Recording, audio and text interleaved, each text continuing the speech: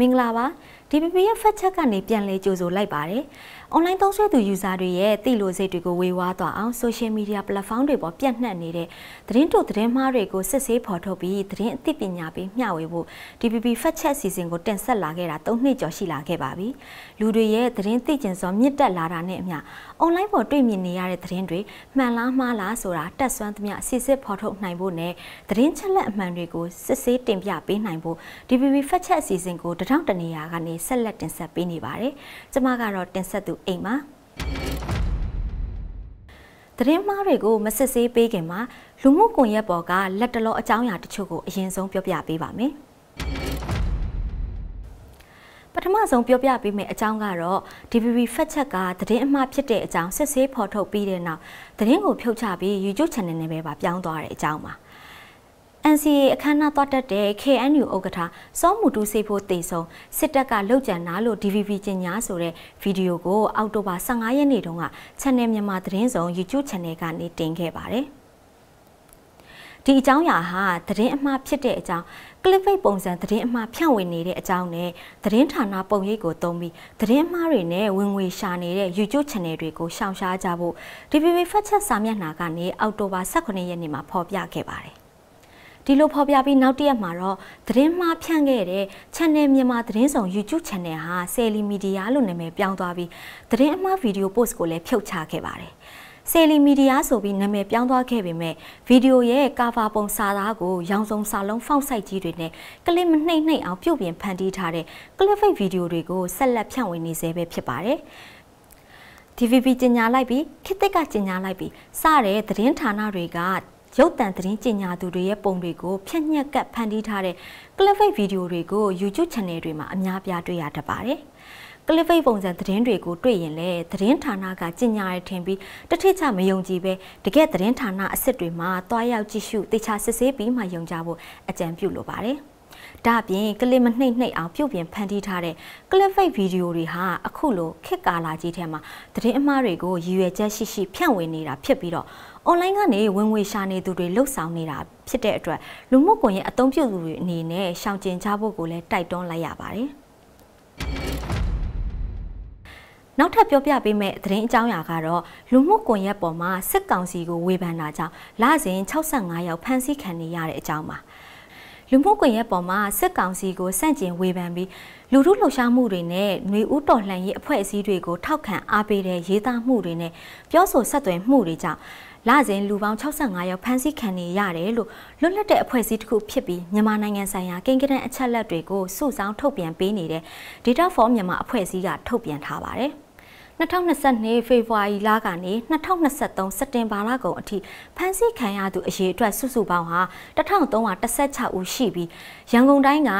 ဖမ်းဆီးခံရသူအများဆုံးဖြစ်ပြီးတော့မန္တလေးတိုင်းကဒုတိယအများဆုံးပဲဖြစ်ပါတယ်။နောက်ပြီးဖမ်းဆီးခံရသူတွေထဲမှာ Facebook အသုံးပြုသူတွေကအများစုဖြစ်ပြီးတော့ TikTok နဲ့ Telegram အသုံးပြုသူတချို့လည်းပါဝင်တယ်လို့ဆိုပါတယ် 2021ခုနှစ်အာဏာသိမ်းပြီးကတည်းကလူမှုကွန်ရက်ပေါ်မှာဒီမိုကရေစီလှုပ်ရှားမှုတွေကိုထောက်ခံတာနဲ့စစ်ကောင်စီကိုဝေဖန်တဲ့သူတွေကိုဖမ်းဆီးထောင်ချအရေးယူတာတွေလှုပ်ဆောင်နေတာဖြစ်ပြီးစစ်တပ်နဲ့စစ်တပ်သတင်းပေးတွေဟာ Telegram Channel ကိုသုံးကစစ်တပ်ဆန့်ကျင်သူတွေရဲ့သတင်းအချက်လက်တွေကိုဖော်ပြပြီးဖမ်းဆီးအရေးယူဖို့လှုံ့ဆော်လေးရှိပါတယ်။ဒီလိုမျိုးသတင်းအချက်လက်တွေကိုဖော်ပြရမှာနေရလိပ်စာလုပ်ငန်းလိပ်စာမှတ်ပုံတင်ဒါမှမဟုတ် passport နံပါတ်ဖုန်းနံပါတ်နဲ့ Facebook account စတဲ့ပုံကူရေးအချက်လက်တွေနဲ့ဖော်ပြနေတာကိုတွေ့ရပါတယ်။မြန်မာနိုင်ငံအခြေဆိုင်လူအခွင့်အရေးအဖွဲ့တစ်ခုဖြစ်တဲ့ Freedom House ကထုတ်ပြန်တဲ့ Freedom on the Net 2023အစီရင်ခံစာအရမြန်မာနိုင်ငံဟာကမ္ဘာဒုတိယအင်တာနက်လွတ်လပ်ခွင့်ဖိနှိပ်ခံရဆုံးနိုင်ငံဖြစ်ပါတယ်။နောက်ထပ်ပြောပြပေးမယ့်အကြောင်းကရွှေကိုစခန်းသိမ်းခံရတာမဟုတ်ဘူးလို့စစ်ကောင်စီမီဒီယာတွေဘက်ကသတင်းမှဖြန့်ဝေနေတဲ့အကြောင်းပါ။ ရွှေကိုစကန်သိမ်းခံရတာမဟုတ်ဘူးလို့သတင်းအမှားနဲ့စစ်ကောင်စီအကြောင်းထောက်ခံရေးသားနေတဲ့ Positive Angle News ရဲ့ website နဲ့ Telegram, VK စတဲ့ social media platform တွေပေါ်မှာအောက်တိုဘာ18ရက်နေ့ကဖြန့်ဝေထားတာပဲဖြစ်ပါတယ်။အလားတူ post တွေကိုတော့ Facebook ပေါ်မှာလည်းရေးသားဖြန့်ဝေတာတွေ့ရပြန်ပါတယ်။ နောက်ပြီးတရားဝင်သတင်းမီဒီယာတွေကရေးသားဖော်ပြချက်တွေကိုတံပြန်အချက်လက်စစ်ဆေးတဲ့ပုံစံနဲ့သတင်းမှားဖြန့်ဝေနေတဲ့ fact check ဆိုတဲ့နာမည်နဲ့ Telegram Channel ကလည်းသတင်းမှားပါဆိုပြီးအောက်တိုဘာ20ရက်နေ့မှာဝါရဖြန့်ရေးသားထားပါသေးတယ်စစ်ကောင်စီရဲ့လုံခြုံရေးရှေ့တန်းအနေနဲ့တက်ဆွဲထားတဲ့ ကချင်ပြည်နယ်ရွှေကူမြို့နယ်ငါးဘက်ကြီးရွာထိပ်မှာရှိတဲ့စစ်ကောင်စီရဲ့ခြေမြန်တက်ရင်ခမရ602နဲ့ခြေလင်းတက်ရင်ခလာရ56တက်ရင်ဌာနချုပ်စခန်းတို့ကိုကချင်လွတ်လပ်ရေးတပ်မတော် KIA နဲ့ဒေသကာကွယ်ရေးစုပေါင်းအဖွဲ့များကအောက်တိုဘာ18ရက်နေ့နက်ပိုင်းမှာတိုက်ခိုက်သိမ်းပိုက်နိုင်ခဲ့ပါတယ်။အဲ့ဒီစကန်သိန်းတိုက်ပွဲမှာစစ်ကောင်စီတပ်ရဲ့လက်နက်ခဲယမ်းကြီးတွေအပါအဝင်စစ်အုံဆောင်ပစ္စည်းအများပြားကိုလည်းတင်ဆက်ရရှိခဲ့ပါတယ် စခန်းလက်လွတ်ဆုံးရှုံးခဲ့တဲ့စစ်ကောင်စီတပ်ဟာရွှေကူမြို့ဝေါ်ကနေလက်နက်ကြီးများပစ်ခတ်ခဲ့တာကြောင့်ဒေသခံအမျိုးသားတအူထိခိုက်ဒဏ်ရာရရှိခဲ့ပါတယ်။နောက်ပြီးစခန်းသိမ်းခံရတာသတင်းအမှားပါဆိုပြီးရေးသားဖြန့်ဝေခြင်းဟာယုံကြည်စိတ်ချရတဲ့တရားဝင်သတင်းမီဒီယာတွေမှာရွှေကူကစစ်ကောင်စီစခန်းသိမ်းခံရကြောင်းဖော်ပြပြီးချိန်ထက်နောက်ကျတာကိုလည်းတွေ့ရပါတယ် အချက်လက်စစ်ဆေးပေးတဲ့အောင်နဲ့စစ်ကောင်စီစခန်းသိမ်းခံရတာသတင်းမှားဆိုပြီးတကယ်ဖြစ်စဉ်ကိုကာဗာလုတ်ကရေးသားဖြန့်ဝေနေတာတွေဟာတက်တွင်းဝါဒဖြန့်ဖို့အတွက်ပဲဖြစ်ပါတယ်စစ်ကောင်စီဟာတိုက်ပွဲအတွင်းထိခိုက်ဒေဆုံးမှုနဲ့ပတ်သက်လို့သတင်းထုတ်ပြန်တာမရှိသလိုတပြိုင်နက်တည်းမှာပဲစစ်ကောင်စီရဲ့ lobby media တွေကစခန်းသိမ်းခံရတာနဲ့ပတ်သက်လို့သတင်းအမှားပါဆိုပြီးတံပြန်ဝါဒဖြန့်ချီလေးရှိပါတယ်။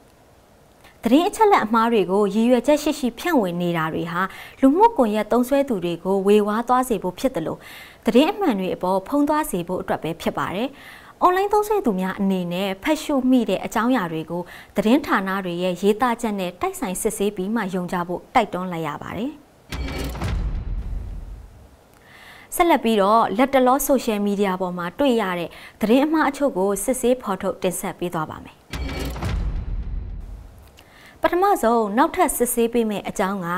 အကြမ်းဖက် PDF တွေကိုလုံးဝလက်မခံတဲ့ AR တိုင်းဆိုပြီးလက်နက်နဲ့တကွဖမ်းမိတဲ့သူနှစ်ဦးရဲ့ဓာတ်ပုံတွေကိုပူးတွဲဖော်ပြထားတဲ့ post အကြောင်းပါဒီအကြောင်းအရာဟာအောက်တိုဘာ18ရက်နေ့က Facebook လူမှုကွန်ရက်ပေါ်မှာအများအပြားပြန့်နှံ့လာပြီး Telegram မှာလည်းအလားတူ post တွေကိုတွေ့ရှိရပါတယ်။ ဒါအပြင်အောက်တိုဘာ18ရက်နဲ့19ရက်2ရက်အတွင်းဒီအကြောင်းအရာကို Facebook အကောင့်စာမျက်နှာနဲ့ group 60နီးပါးမှာပြန်လည်ဖြန့်ဝေထားတာကိုလည်းတွေ့ရပါတယ်။ဒီအကြောင်းအရာကိုစစ်ဆေးကြည့်တဲ့အခါလွန်ခဲ့တဲ့2လဩဂတ်လတုန်းကသတင်းနဲ့ပုံကိုသုံးပြီးပြန်လည်ဖော်ပြထားတာစစ်ဆေးတွေ့ရှိရပါတယ်။ AR တိုင်းရေကြီးမြို့နယ်9တိုင်း6မြို့ရှေ့ဆောင်ရက်ကွက်တိရိရတနာလမ်းပေါ်မှာရှိတဲ့တဲခိုခန်းတစ်ခုမှာပြီးခဲ့တဲ့ဩဂတ်စ်လ19ရက်နေ့တုန်းကလာရောက်တဲခိုသူ2ဦးလက်နက်များနဲ့အတူဖမ်းဆီးခံခဲ့ရတဲ့သတင်းနဲ့ဓာတ်ပုံတွေပဲဖြစ်ပါတယ်။ အဲ့ဒီတုန်းကဖမ်းဆီးခံရတဲ့ဖြစ်စဉ်အကြောင်းအရာကိုစစ်ကောင်စီကိုထောက်ခံရေးသားနေတဲ့ lobby တွေနဲ့ lobby media တွေကလည်းကြက်ကြဲပြက်ပြန့်ဖြန့်ဝေခဲ့ပူပါတယ်။ဒါကြောင့်ဒီသတင်းဟာသတင်းဖြစ်စဉ်အဟောင်းနဲ့ဓာတ်ပုံတွေကိုသုံးပြီးလက်ရှိဖမ်းမိတဲ့အဖော်ပြထားတဲ့သတင်းအမှားပဲဖြစ်ပါတယ်ဓာတ်ပုံအဟောင်းသတင်းအဟောင်းတွေကိုသုံးပြီးသတင်းအမှားပြန်လဲဖြန့်ဝေတာတွေဟာစက်ကောင်စီ lobby တွေသတင်းအမှားဖြန့်ဝေမှုပုံစံထဲကတစ်ခုပဲဖြစ်ပါတယ် ပုံအဟောင်းနဲ့သတင်းအဟောင်းတွေကိုသုံးပြီးလိုရာဆွဲလောက်ကြံရေးသားချက်တွေလည်းဖြစ်နိုင်တာမို့ဓာတ်ပုံနဲ့အတူတွဲပြီးဖော်ပြထားတဲ့ post တွေကိုလည်းတေချာစစ်ဆေးပြီးမှယုံကြဖို့အကြံပြုလိုက်ပါတယ်။နောက်ထပ်စစ်ဆေးပေးမယ့်အကြောင်းကတော့ KIA တပ်မဟာကိုဌာနချုပ်နဲ့အနံ့ပါ KIA အရာရှိ15ခု KIA PDF 130ကျော် NUG နဲ့30ဦးဆိုတဲ့ post အကြောင်းပါဒီအကြောင်းအရာကိုအောက်တိုဘာ18ရက်နေ့မှာ Facebook အကောင့်တရားစင်ထက်မင်းရေးသားဖြန့်ဝေထားတာတွေ့ပါတယ်ဒါအပြင်စစ်ကောင်စီရဲ့ဝါရဖြန့်သတင်းနဲ့သတင်းမှားတွေကိုဖော်ပြနေတဲ့ Telegram Channel တွေမှာလည်းဖော်ပြနေတာတွေ့ရပါတယ်ဒီသတင်းကိုစစ်ဆေးကြည့်တဲ့အခါ လေရင်နဲ့ဘုံကျဲခံရပြီးထိခိုက်ဒေဆုံးတာမှန်ပေမဲ့ထိခိုက်ဒေဆုံးတဲ့အရေးအတွက်130ဆိုတာကတော့မဟုတ်ပါဘူး။ကချင်ပြည်နယ်ဖားကတ်မြို့နယ်အနက်ပါနဲ့ကန်စီဒေတာအထက်ဘက်က KIA တပ်မဟာကိုနေမြေထဲကိုစစ်ကောင်စီတပ်ကအောက်တိုဘာ16ရက်ညနေ6နာရီကျော်လောက်မှာလေကြောင်းကနေဘုံကျဲတိုက်ခိုက်ခဲ့ပါတယ်။ ဒီလိုတိုက်ခိုက်မှုတွေကြောင့်အနံ့ပါကျေးရွာအနီးနဲ့ကျေးရွာဈေးပတ်ဝန်းကျင်တွေမှာဘုံပေါက်ကွဲပြီးဗိုလ်ကြီးတဦးနဲ့ဗိုလ်နှစ်ဦးတေဆုံးခဲ့ပြီး၁၀ဦးခန့်ဒဏ်ရာရရှိခဲ့တယ်လို့ mainstream media တွေမှာဖော်ပြထားပါတယ်။ဒါကြောင့်ဒီသတင်းဟာ KIA တပ်မဟာကိုလေကြောင်းကနေတိုက်ခိုက်ခံရပြီးတေဆုံးထိခိုက်တဲ့ဖြစ်စဉ်ကိုသုံးပြီးထိခိုက်တဲ့အရေးအတွက်ကိုချဲ့ကားရေးသားထားတဲ့သတင်းအမှားပဲဖြစ်ပါတယ် လူမှုကွန်ရက်တွေပေါ်မှာအကြောင်းအရာတစ်ခုအများပြားပြန့်နှံ့လာတိုင်းသတင်းအမှန်မဖြစ်နိုင်ပါဘူးသတင်းအမှားတွေကိုရည်ရွယ်ချက်ရှိရှိနဲ့ဖြန့်ဝေတာမျိုးတွေလည်းဖြစ်နိုင်ပါတယ်သတင်းအမှားမှန်ခွဲခြားရခက်နေရင်ယုံကြည်စိတ်ချရတဲ့သတင်းဌာနတွေမှာတွားရောက်ရှာဖွေဖတ်ရှုကြည့်ကြဖို့တိုက်တွန်းလိုက်ရပါတယ်နောက်ဆုံးစစ်ဆေးပေးမယ့်အကြောင်းကအရာတော် PDF စကန်စီးနှင်းခံရပြီး၄ဦးသေဆုံး၁၀ဦးအဖမ်းဆီးခံရတယ်ဆိုတဲ့အကြောင်းပါ အောက်တိုဘာ16ရက်နေ့တုန်းကဒီအကြောင်းအရာဟာ Telegram လူမှုကွန်ရက် platform တွေပေါ်ကနေစတင်ပြန့်နှံ့နေတာပဲဖြစ်ပါတယ်ဒီအကြောင်းအရာကိုစစ်ဆေးကြည့်တဲ့အခါအချက်လက်အမှန်အမှားရောထွေးရေးသားထားတာကိုစစ်ဆေးတွေ့ရှိရပါတယ်ပြီးခဲ့တဲ့အောက်တိုဘာလ16ရက်နေ့တုန်းကစကိုင်းတိုင်းရာတော်မြို့နယ်ထဲမှာရှိတဲ့အောင်တာကုန်းရွာအနီးက PDF စခန်းတစ်ခုစီးနှင်းခံရပြီးအမျိုးသမီးတပ်ဖွဲ့ဝင်2ဦးနဲ့အမျိုးသားတပ်ဖွဲ့ဝင်2ဦးစုစုပေါင်း3ဦးပြစ်တက်ခံလိုက်ရပါတယ်။ နောက်ထပ်ကာဝယ်ရေးတပ်ဖွဲ့ဝင်2ဦးကလည်းစစ်ကြောင်းနဲ့တိုးလို့ပြစ်တက်ခံလိုက်ရတာကြောင့် PDF 4ဦးကြာဆုံးခဲ့ပါတယ်။အော်တိုဘာဒုတိယဘက်ကစလို့အရာတော်မြို့နယ်တဲကကျေးရွာတွေကိုဝင်ရောက်စီးနှင်းတိုက်ခိုက်နေတဲ့စစ်ကောင်စီတပ်ဖွဲ့ဝင်တွေက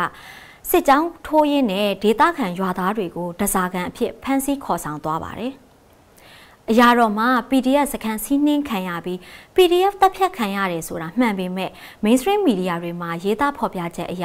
အရှင်ဖမ်းမိတယ်ဆိုတဲ့သူတွေဟာ PDF တွေမဟုတ်ပဲအရက်သားတွေဖြစ်ပါတယ်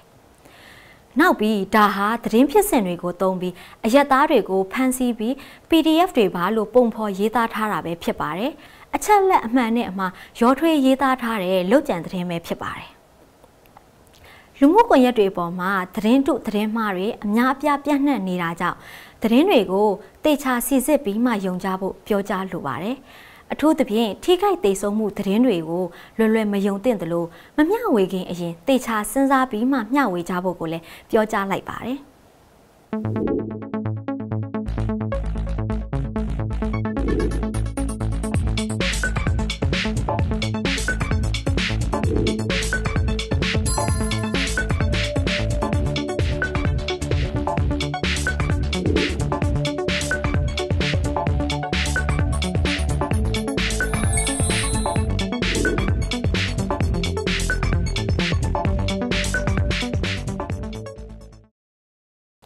အရင်ကထက်ပုံမမွန်းကျက်လာတဲ့ခုခေတ်ကြီးထဲမှာအွန်လိုင်းသုံးစွဲသူတွေအနေနဲ့တဆင့်စကားနဲ့ကြားရတဲ့သတင်းတွေအင်တာနက်ပေါ်ကတွေ့မြင်နေရတဲ့သတင်းတွေကိုမှန်လားမှားလားဆိုတာကိုယ်တိုင်စဉ်းစားဆုံးဖြတ်မယ့်အချိန်ဖြစ်ပါတယ်။ကြားနေရမြင်နေရတဲ့သတင်းတွေကိုအမှန်အမှားခွဲခြားရခက်နေရင်လည်း DPP Fact Check Facebook Page ကိုဆက်သွယ်မြင်းမြန်းနိုင်ပါတယ်။အားလုံးပဲသတင်းအမှားရန်ကကင်းဝေးကြဖို့သတင်းစကားပါရင်းနဲ့ DPP Fact Check အစီအစဉ်ကိုထပ်မံတင်ဆက်ပေးသွားပါဦးမယ်။